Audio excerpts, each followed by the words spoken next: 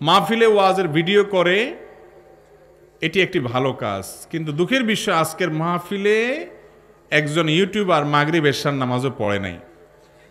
ইসলাম প্রচার করে নামাজ না পড়লে কেয়ামতে মাপ পাবে কিনা আমদুল্লাহ বা আশা করছি আপনি সঠিক উত্তর দিবেন। এই ইউটিউবার ভাইদের মধ্যে কুকাম করেন না লোক আছে। হুম। আমার পরিচিত যারা আছে, যারা বিভিন্ন চ্যানেলের ভাইরা আছে, এরা তো আলহামদুলিল্লাহ নামাজি। এই যে ভাই মাসাল্লাহ কালকেও সিলেটে দেখছি, আগের দিন টাঙ্গাইল দেখছি, তো নামাজি মানুষ মাসাল্লাহ এরকম বেনামাজিও আজ রেকর্ড করতে আসে?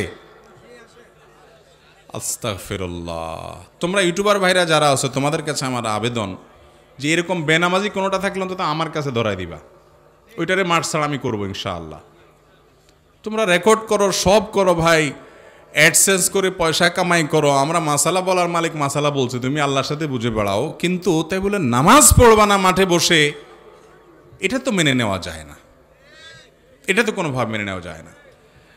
আমি এই জন্য প্রায় বলি, এরা তো এসব জিনিস দিবে না ইউটিউবে, তাও বলি যে, যেই ধরা হুজুরদের পরে সবচেয়ে বড় ধরা দুনিয়াতে যদি আল্লাহর কাছে, আখেরাতে যদি কারোর পাকড়াও হয় শক্ত করে, তো এদের হবে। কারণ এরা যত ওয়াজ শুনছে, আপনারা এত ওয়াজ একবার রেকর্ডের সময় শুনছে, আবার এডিটিংয়ের সময় শুনবে, আবার নেটে ছাড়ার পরে শুনবে। এত শোনা। কিন্তু এরপরও যদি নামাজ না পড়ে, তো এটা তো খতম আল্লাহ আলা কুলবিহীম, লক্ষণ খারাপ। ভাইরা, আমার হাসির কথা না। শুধু ইউটিউবার ভাইদেরকে বলছি না, আপনাদেরকেও বলছি। কিছু লোক আছে তারা জাহান্নামি তাদের একটা মার্কা আছে বলবো আল্লাহ তালা কোরআনে কারিমে বলেছেন لقد ذرأنا لجهنم كثيرا من الجن والإنس لهم قلوب لا يفقهون بها ولهم آذان لا يسمعون بها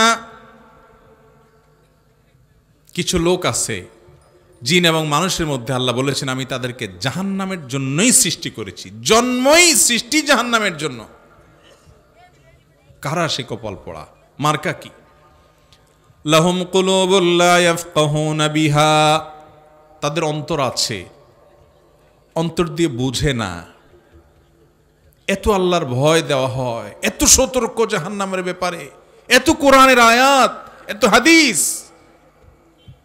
এরপর অন্তরটা কাঁপে না, পরিবর্তন করে না। ওয়ালাহুম বিহা।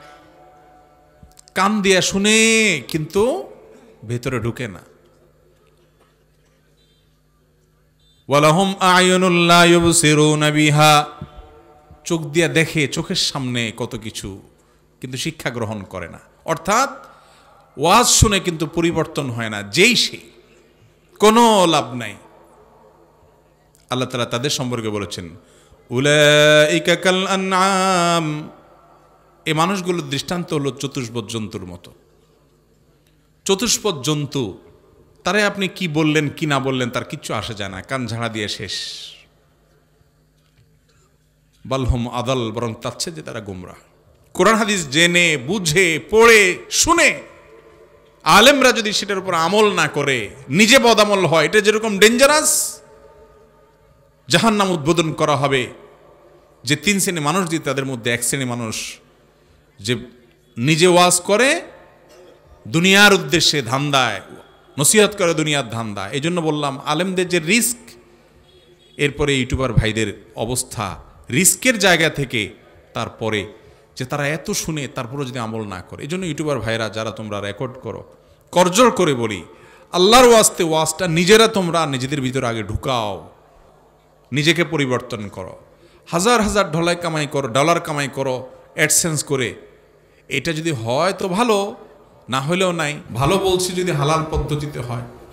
হারাম হলে হারাম না যায় ধরে না যায় কিন্তু সেটা দুনিয়াবি বিষয়। বাট যদি এখান থেকে তোমার জীবনটা একটু পরিবর্তন করতে পারো, তো এই তোমার সবচেয়ে বড় ব্যবসা হয়ে গেল ইনশাআল্লাহ। ইউটিউবার ভাইরা নামাজ পড়ব তো ইনশাআল্লাহ। অনেকে হয়তো পেশাগত কারণে আসো, চাকরির জন্য আসো কন্টেন্ট বিক্রি করতে হবে, আসো, পেটের দায়ে আসো, বা তুমি হয়তো অন্য কোনো উদ্দেশ্যে আসো, কিন্তু ভাই নামাজ ছাড়বে না, মুসলমান নামাজ ছাড়তে পারে না। আপনারা আয়োজক যারা আছেন, ওই ভাইটাকে বুঝায় নামাজ পড়াবেন এবং নসিহত করবেন, পারলে আমার কাছে ধরে নিয়ে আসবেন ইনশাআল্লাহ। মা বাবার কবরে পরিবারের সবাইকে নিয়ে হাত তুলে মোনাজাত করা জায়েজ আছে কিনা?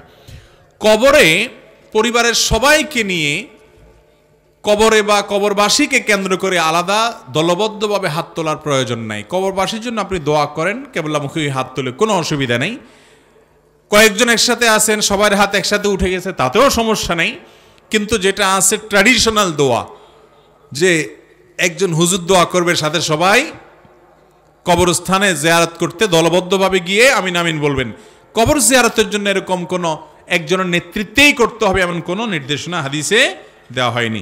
কবর জিয়ারত কীভাবে করবেন? দোয়া কীভাবে করবেন? নবী করিম সাল্লাহ সাল্লাম যেটা করতেন, কবরে গিয়েছেন, সেখানে সালাম পেশ করতেন। সালাম আলাইকুম দারা কম মিন ওয়াইন্না ইনশা আল্লাহ হেকুন সেখানে বিভিন্ন ভাষা আছে, বিভিন্ন রকমের আপনার ভাষ্য আছে যে কোনো দোয়া পেশ করেন, সালাম দিয়ে দিলেন, এটাই দোয়া।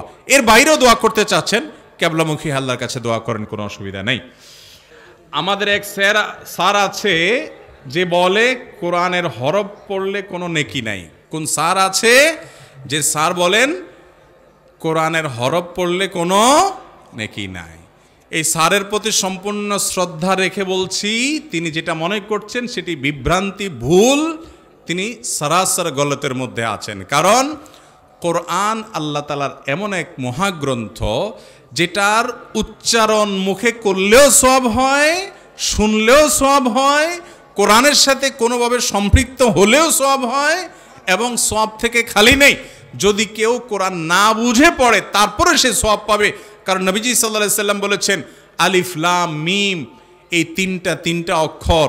এই তিনটা অক্ষরের জন্য দশটি করে নেকি পাওয়া যাবে। তিনি বলছেন আলিফলাম মিম তিনটা মিলে এক অক্ষর বলছি না, প্রত্যেকটাকে আলাদা আলাদা করে দেখাইছেন তিনি, প্রত্যেকটা কারণে সব হবে। অথচ আলিফলাম মিমের অর্থ কি আজও পর্যন্ত চূড়ান্তভাবে ওলামা একরাম পৃথিবীর সবাই একসাথে ঘোষণা দিতে? তাহলে যেটার অর্থ হরুফে মোকাত্তাত, অর্থ আল্লাহ আলম বিমুরাদিহি বিদালিক, আল্লাহ তালা ছাড়া যেটার মূল অর্থকে উদ্ধার করতে পারেন না। মুফাসিনী ক্রাম নানান গবেষণা তা তারা জানিয়েছেন মাত্র। সেটা পড়লে পর্যন্ত নবীজি বলেছেন সব হবে। আপনার স্যার যদি বলে যে সব হবে না, তাহলে আপনার স্যার এক লাইন বেশি বুঝছেন। তবে অবশ্যই কোরআন শুধুমাত্র সব আহরণ করবেন, বুঝে হোক, না বুঝে হোক, পড়ে এটার জন্য না। না বুঝেও কোরআন তেলাওয়াত করবেন, ধীরে ধীরে সুন্দরভাবে, বিশুদ্ধতার সাথে। এটা এক মজেজা, মিরাকল। এর মাধ্যমেও আপনার মধ্যে প্রভাব আসবে এবং সব পাবেন। তবে কোরআনের মূল উদ্দেশ্য হলো এটা হুদাল্লিন্নাস মানুষকে পথ দেখাইতে আসছে। অতএব কোরআন বুঝে বুঝে আমরা আমল করব।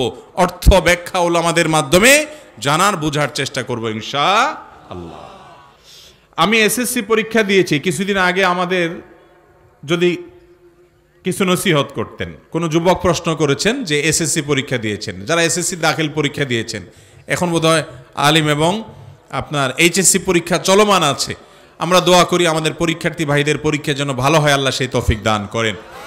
সেই সাথে আপনাদেরকে বলব, পরীক্ষা দেওয়ার পরের যে সময়টা, অখণ্ড অবসর সময়, এই সময়টাকে খুব হিসেব নিকেশ করে ভালোভাবে কাটানোর চেষ্টা করবেন। বেশিরভাগ যুবকদের যৌবনের একটা গুরুত্বপূর্ণ সময় শয়তান হেয়ালিপনা করে কাটায় দেয়। বন্ধু বান্ধবের সাথে দুস্তি, আড্ডা, পাগলামো, ছাগলামো, মাতলামো, দেখবেন তরুণদের মধ্যে সৃষ্টিশীল কাজ করা তরুণের সংখ্যা কম। আলহামদুলিল্লাহ মাহফিলের সুবাদে দেশের বিভিন্ন জায়গায় আমি গিয়ে দেখেছি, অনেক যুবক, তরুণরা আছেন যে তারা নিজেরা উদ্যোগী হয়ে তারা ব্লাড ডোনেশনের বিভিন্ন উদ্যোগ নিয়েছে। এই যে শীত আসছে, শীত বস্ত্র বিতরণের উদ্যোগ নেয়, তারা ভালো কিছু কাজ করে বন্ধুরা মিলে। এলাকায় কোনো এলাকার রাস্তা ভেঙে গেছে, কালভার্ট ভেঙে গেছে, তারা স্বেচ্ছাশ্রম দিয়ে সেটা ঠিক করে দেয়। এই যুবকগুলো হলো আল্লাহ তালার প্রিয় বান্দা যদি ইমানদার হয়ে থাকে, এই আমলগুলো তাদেরকে ইনশা আল্লাহ জান্নাতি যুবক হিসাবে পরিণত করবে। অতএব এসএসসি দাখিল পরীক্ষা বা এইচএসসি আপনার আলিম পরীক্ষা শেষ হয়েছে। অবসর সময়ে বন্ধু বান্ধবদেরকে দিয়ে ভালো কিছু কাজ করেন। কোরআনে কারিমটা পুরো অর্থ সহকারে পড়া হয় নাই, একবার একটু পড়ার প্ল্যান করেন। টাইম করে প্রতিদিন দুই চার পৃষ্ঠা করে পড়ে শেষ করেন। কিছু হাদিসের, নির্বাচিত হাদিসের গ্রন্থ এগুলো পড়ার চেষ্টা করেন, ওলামাদের মজলিসে যান, দিন সম্পর্কে জানার চেষ্টা করেন, বাবা মাকে সময় দিতে পারেন নাই পরীক্ষার সময়, বিভিন্ন সময়। এই সময় একটু মায়ের কাজ করে দেন, বাবার কাজ করে দেন, পাশে দাঁড়ান। এই যে মোবাইল ফোন, এটা আজকাল আমাদের যুবকদের এমন একটা জায়গা নিয়ে গেছে যে বাবা মার দিকে তাকায় কথা বলার সময়ও আজকাল আমাদের নাই। ঠিক না বে ঠিক? একবারের জায়গায় দশ বার ডাকার পরও হুঁশ নাই, ছেলে ডাইরেক্ট হয়ে গেছে। ছেলে ফেসবুকে কি হয়ে গেছে? ডাইরেক্ট হয়ে গেছে। এই ডাইরেক্টের রুগী ডায়রিয়ার রুগী, আমরা বেশিরভাগ যুবকরা না আজকাল? কিসের মার ডাক, কিসের বাপার ডাক, কিছু খবর নাই। আল্লাহ আমাদেরকে হেদায়ত দান করুন। এই জন্য অবসর সময় তাদেরকে সময় দিবেন।